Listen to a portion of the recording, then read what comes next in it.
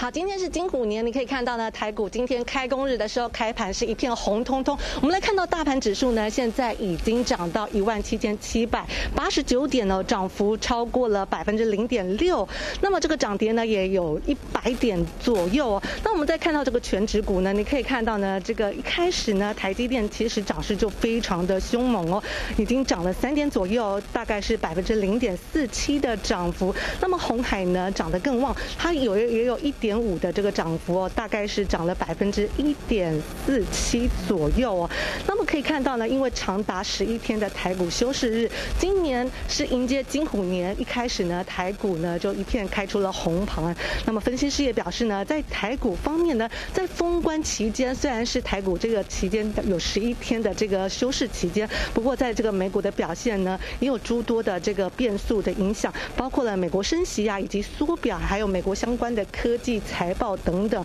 都是这个呈现影响这个台股的表现。那么不过呢，值得庆幸的是，这个在十一天的这个封关日的这个美股的表现呢，是多数都是呈现于反弹向上的走势，所以呢，有利于台股开红盘的表现。那么只有一些呃有一些变化，像是呢，像 Meta 的股价崩盘，不利于元宇宙概念的族群，以及苹果、高通、亚马逊的股价大涨，它是有利于台股的联动表表现。那么相关的半导体呀、资料伺服器等等的族群表现也是不错的。那么另外在休息时，呃，这个在休假期间呢，美股升息以及缩表的宣示，有利于金融股的表现。那么另外我们可以看到，就是国际油价的表示啊，也是非常的强势，加上年后的塑化原料回补库存的题材，将激励台湾的塑化股的表现。那么以上的这个股市表现呢，都是可以值得期待的。那么以上就是现场的最新情形，我们将镜头交还给彭丽主播。